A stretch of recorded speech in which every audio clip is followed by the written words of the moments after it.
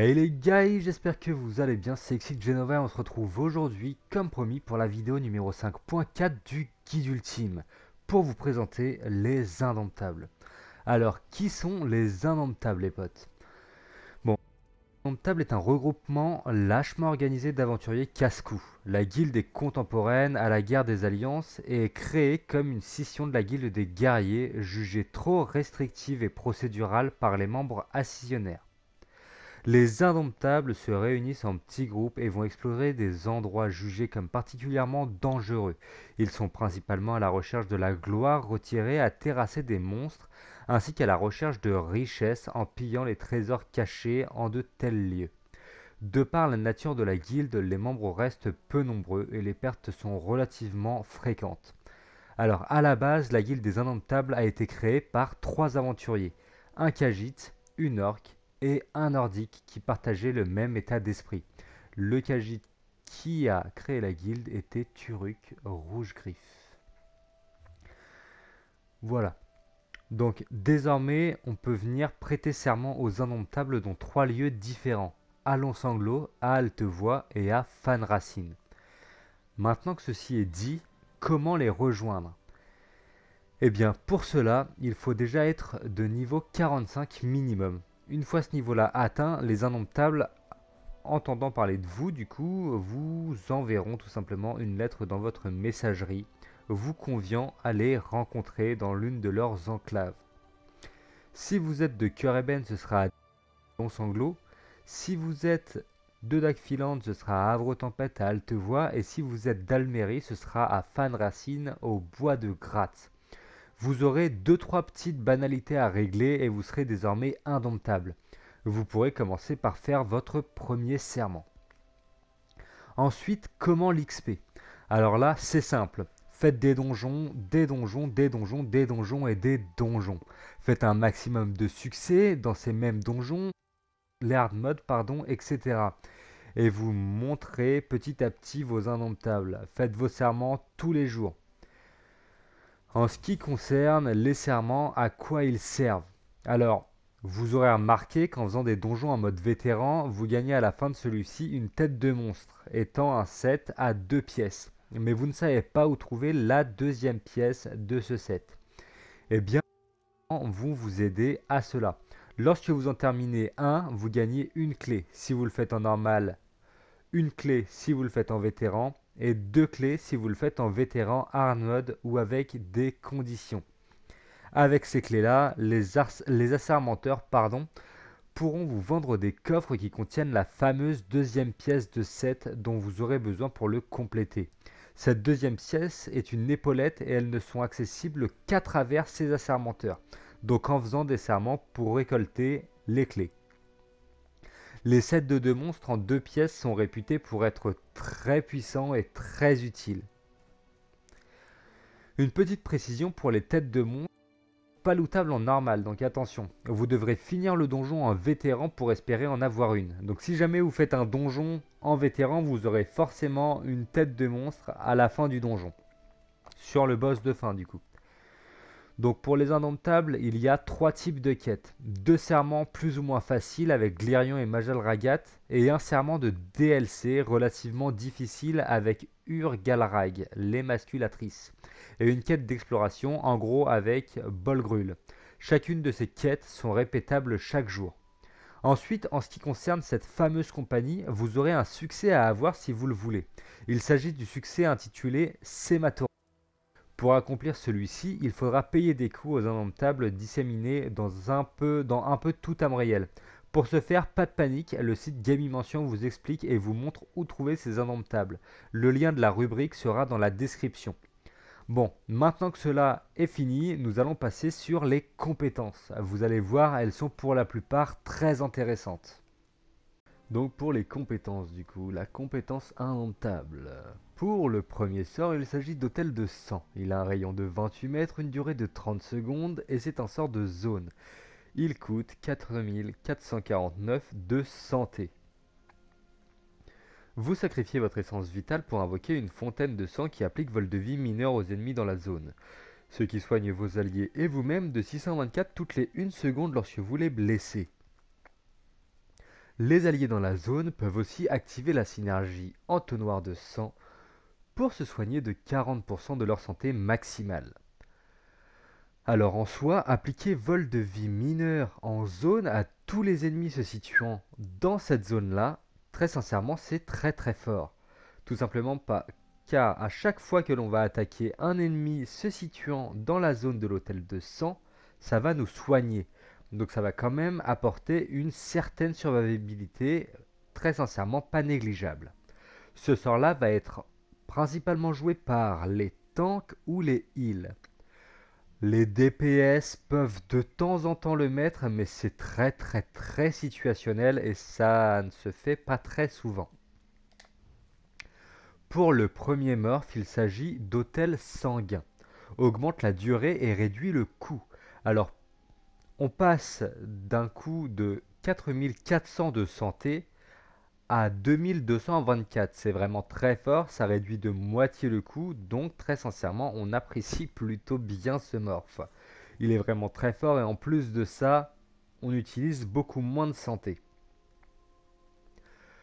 Pour le deuxième morph, hôtel débordant, donc là la santé reste inchangée.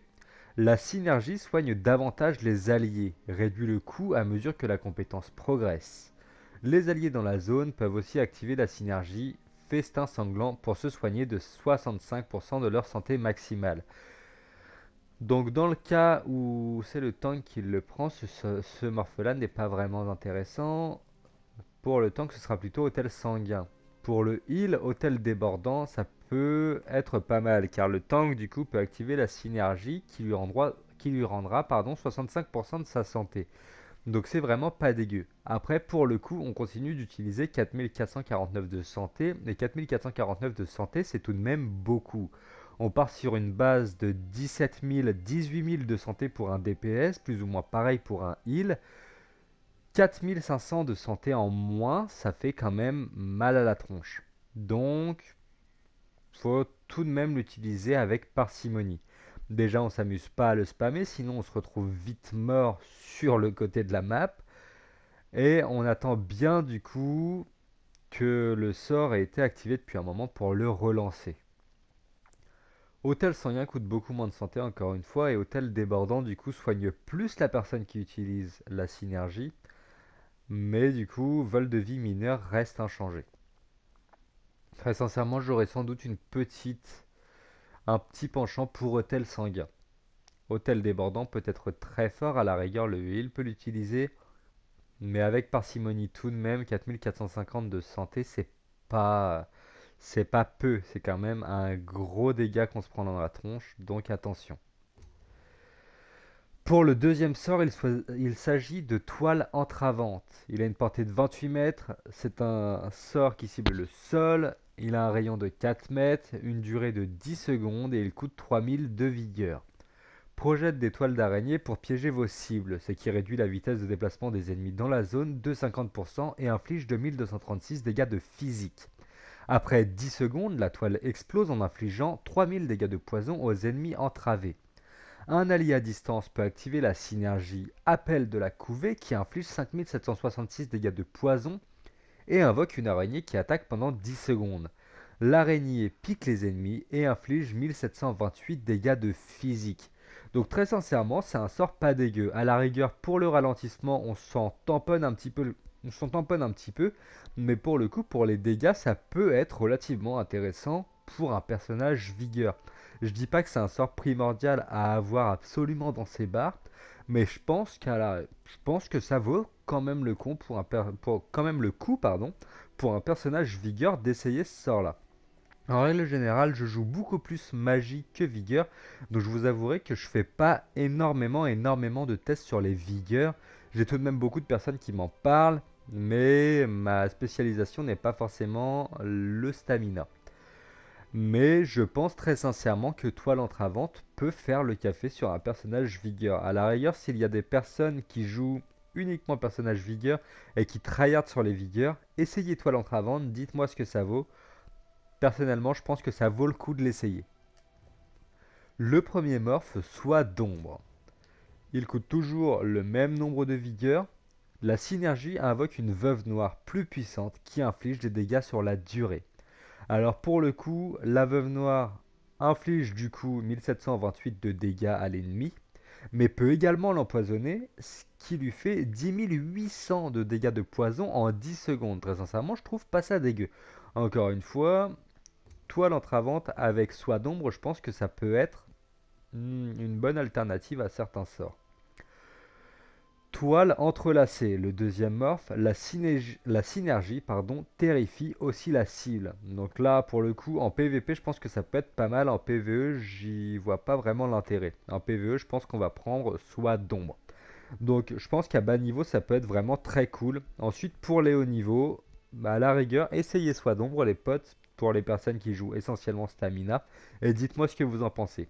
Personnellement, avec la description du sort, je pense que ça peut être un sort vraiment pas mal. Feu intérieur pour le troisième sort. Donc là pour le coup, on se retrouve avec le sort d'aggro du tank à distance. C'est du coup un sort qui permet de prendre l'agression sur les mobs à distance. C'est vraiment très cool. Le bâton de glace avec une attaque chargée peut également le faire, mais là pour le coup c'est instantané, donc c'est vraiment pas mal. Il coûte 2781 de magie et il a une portée de 28 mètres attise les flammes de la haine dans le cœur de votre ennemi, ce qui lui inflige 3269 dégâts de magie et le provoque pendant 15 secondes. Un allié à distance visant l'ennemi provoque à 50% de chance d'activer la synergie radiation, qui inflige 6000 dégâts de magie à l'ennemi en 3 secondes, puis 6300 dégâts de magie au même ennemi et aux ennemis proches. Donc c'est pas dégueu, ça fait un petit peu de dégâts, mais l'utilité principale du sort, ça va être pour prendre l'aggro à distance la majorité des tanks, du coup, enfin, la plus ou moins quasi-totalité des tanks vont jouer feu intérieur pour prendre l'aggro à distance ou alors, du coup, avec le bâton de glace avec une attaque chargée. Le premier morph, rage intérieur. La synergie s'applique à présent toujours à la cible au lieu. bon, ça veut rien dire, mais bon, c'est pas grave.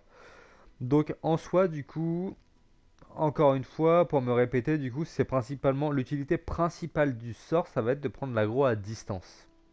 Bête intérieure. Cette compétence est désormais une compétence de vigueur. Vos attaques infligent davantage de dégâts à l'ennemi tant qu'elle est active.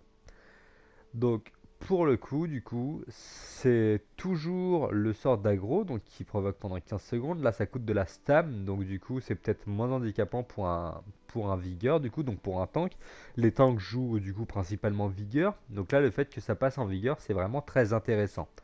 Donc le tank du coup, je préconise très sincèrement de jouer avec le feu intérieur pour prendre l'agro à distance. Pour le quatrième sort, bouclier d'os. Il coûte 3782 de vigueur, il dure 6 secondes et il nous cible nous-mêmes. Enveloppez-vous d'un tourbillon d'os qui vous confère un bouclier protecteur absorbant des dégâts jusqu'à 3359 pendant 6 secondes. Cette compétence s'adapte à votre santé maximale. Un allié près de vous peut activer la synergie Mur d'ossement qui confère à l'allié et jusqu'à 3 autres alliés près de lui un bouclier protecteur qui absorbe des dégâts à hauteur de 30% de leur santé maximale pendant 6 secondes. C'est vraiment pas mal du coup, ça donne un petit shield pour les persos vigueur. Je trouve ce sort là vraiment très intéressant. Le tank peut jouer du coup avec le bouclier d'os, un vigueur peut jouer avec le bouclier d'os, c'est vraiment très cool. Ça dépanne vraiment pas mal. En plus de ça, on a une petite synergie qui peut également donner un bouclier à nos alliés. C'est vraiment très cool. Le premier morph, bouclier d'os pointu. Absorber des dégâts directs vous fait renvoyer une portion des dégâts aux ennemis s'ils sont à portée de corps à corps. Donc du coup, ça fait des petits dégâts, c'est pas trop mal. Croissance osseuse. La synergie augmente les soins reçus. Pour le coup, du coup, et vitalité majeure qui augmente les soins qu'ils reçoivent de 30%. Pour le coup, du coup, c'est Bon, je dis beaucoup du coup, je viens de m'en rendre compte, c'est un peu chaud, mais c'est pas grave. Croissance osseuse, ça va permettre, ça va permettre pardon, de recevoir des burst heal de l'enfer du coup. Pour le tank, croissance osseuse, ça va juste être énorme. Donc je recommande du coup croissance osseuse pour les tanks, c'est pas mal. À la rigueur pour les DPS, bouclier d'os pointu, ça peut être cool. Parce que ça leur rajoute toujours un petit peu de DPS en se shieldant, c'est vraiment pas dégueu. Pour le dernier sort, un vraiment bon sort, Orbe nécrotique. C'est un sort de zone, il a un rayon de 8 mètres et il dure 10 secondes. Il coûte 3893 de magie. Projette un globe d'annihilation qui avance lentement et inflige 765 dégâts de magie toutes les demi-secondes aux ennemis proches. Toutes les demi-secondes, c'est quand même assez vénère. Un allié près du globe peut activer la synergie combustion, ce qui fait exploser l'orbe, 6334 dégâts de magie dégâts, et rendre 3960 de magie ou de vigueur à l'allié en fonction du maximum le plus fort. Donc ça fait pas mal de dégâts, ça permet aux alliés qui activent la synergie de récupérer de la magie, de la vigueur. En règle générale, ce sort-là était exclusivement utilisé sur les heals du coup pour rendre de la ressource à tout le groupe, mais du coup on voit beaucoup plus de DPS qui utilisent justement Orbe Nécrotique pour faire des dégâts et donner un maximum de synergie à tout le monde en fait. Le premier morph, Orbe Mystique. Elle augmente les dégâts, on passe de 700 à 917 de dégâts de magie, c'est vraiment pas mal et orbe d'énergie. Le globe soigne les alliés au lieu de blesser les ennemis. Donc vous l'aurez compris, au niveau des DPS, on va utiliser l'orbe mystique.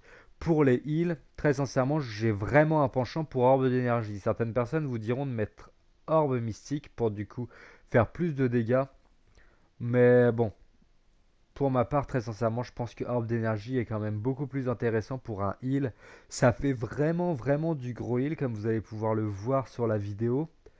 Très sincèrement, pour moi, un heal, ça devrait jouer avec Orbe d'énergie. Après, je me trompe peut-être, certaines personnes seront peut-être pas forcément d'accord avec moi. Pour moi, je préférerais jouer Orbe d'énergie sur un heal plutôt qu'Orbe mystique. Voilà. Après, ce n'est que mon avis personnel. Beaucoup de personnes peuvent penser différemment, d'autres personnes peuvent penser pareil. Je pense que c'est euh, suivant le joueur du coup et suivant l'équipe. Ça varie du coup de, euh, simplement de, l'avis sur ce sort-là. Pour le premier passif, Autorité des Indomptables. Les passifs des Indomptables sont vraiment cool. Hein. Autorité des Indomptables. Activer une compétence de synergie d'un allié vous rend 4% de votre santé, vigueur et magie maximale. Bonus actuel 452 de santé, 480 de vigueur et 1285 de magie. Donc c'est vraiment cool. On est tout le temps en train d'activer des synergies, ne serait-ce que pour nous rendre des ressources, justement, avec l'orbe nécrotique, etc. Donc ce passif va, quoi qu'il en soit, nous être super utile tout le temps. Pour le deuxième passif, Courage des Indomptables. Augmente la santé, la vigueur et la magie maximale de 2% par type d'armure, lourde, moyenne, légère que vous avez équipée. Bonus actuel, 4% on peut du coup avoir 6% de bonus actuel. C'est jusqu'à là, du coup, j'ai que deux types de pièces d'armure. Dans ma vidéo sur les armures, je vous ai très fortement conseillé du coup de jouer avec votre set principal. Donc du coup, par exemple, si vous êtes en magie, votre set principal en magie, en léger, pardon. Donc 5 euh, pièces en léger, une pièce en lourde et une pièce en moyen. Donc en règle générale, la pièce en lourde et en moyenne, c'est souvent la tête et l'épaule. Voilà. Tout simplement, je vous ai dit de jouer, euh, de jouer du coup avec trois types d'armures différentes justement pour ce passif là qui est courage des indomptables. Je trouve ça vraiment très fort. 6% de bonus du coup en santé, vigueur et magie, c'est vraiment pas dégueu. Ça commence à faire un bon petit bonus quand même et ce serait vraiment dommage de s'en priver. Donc voilà, du coup, pour les compétences d'indomptable, on en a fini pour aujourd'hui. Donc pour faire un petit récapitulatif rapide, Hôtel 200 c'est vraiment très cool du coup pour un heal ou pour un tank. J'ai quand même un petit penchant pour Hôtel Soyen personnellement. Toile entravante, je pense que ça peut être vraiment très utile pour un DPS vigueur. Pour un DPS vigueur, je pense que ça peut faire le café. Après, du coup, il faut que vous me disiez ce que, ce que vous en pensez. Mais je pense vraiment que ça peut être utile. Feu intérieur, c'est le sort du coup par excellence pour prendre l'agro à distance avec un tank. Surtout, vous amusez pas à jouer euh, à jouer feu intérieur avec un DPS. Je préfère quand même le, je préfère quand même le, le, enfin je préfère quand même prévenir hein, parce que du coup c'est pas forcément évident pour tout le monde. Du coup, feu intérieur c'est exclusivement réservé aux tanks. Hein. Du coup, il permet, c'est un sort qui permet de prendre l'agro. Donc faites attention avec ce sort, les DPS, ne le jouez pas. Bouclier d'os, c'est vraiment un sort qui est vraiment pas mal du coup pour que ce soit un tank ou un DPS vigueur. Bon, pour les magies, du coup, c'est un petit peu inutile en sachant que du coup, de toute façon, c'est un sort vigueur et que les magies ont beaucoup d'autres shields bien plus performants que bouclier d'os. Mais c'est tout de même un sort très performant pour un tank ou pour un DPS vigueur. Avec un petit penchant du coup pour le tank pour croissance osseuse et pour bouclier de dose pointue, du coup ce sera pour les DPS vigueur. L'orbe nécrotique, un très bon sort, que ce soit pour DPS, pour tank ou pour heal. L'orbe mystique du coup pour les DPS magie et l'orbe d'énergie pour les heals pour ma part. Les deux passifs sont très utiles. Un qui vous donne des ressources du coup en plus lorsque vous activez des synergies et un qui vous donne des ressources pures par pièce d'armure différentes équipées. Donc voilà les potes. On en a fini avec la guilde des indomptables. Donc on arrive bientôt sur la fin des guildes. Je vous présenterai la semaine prochaine la guilde des voleurs, sans doute réunie avec la confrérie noire. Il faut que j'y réfléchisse. Et je vous ferai ensuite les lignes de compétences monde. Donc du coup on pourra y trouver les vampires et les loups-garous par exemple. Sur ce les gars, j'espère que la vidéo vous aura plu et qu'elle aura pu vous aider. Si c'est le cas, n'hésitez pas à liker la vidéo, à la partager, à vous abonner à la chaîne et surtout à me dire ce que vous en avez pensé en commentaire ou bien tout simplement me poser d'éventuelles questions. Je vais vous souhaiter une très bonne journée ou soirée et vous dire à la prochaine pour une prochaine vidéo. C'était XY Genova. Ciao bye bye les potes.